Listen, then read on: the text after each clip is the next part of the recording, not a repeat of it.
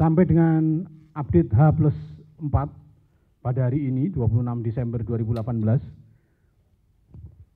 tercatat kalau kita melihat total korban 430 orang meninggal dunia, 1.495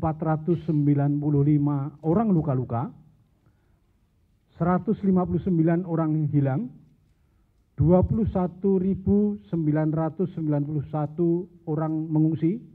Gunung Anak Krakato menjadi siaga level 3. Sampai dengan saat ini adalah PVMBG Badan Geologi. Tadi sudah merekomendasikan, tadi saya sampaikan, status waspada, radius 2 km dari puncak kawah adalah daerah yang berbahaya. Tidak boleh ada aktivitas di sana.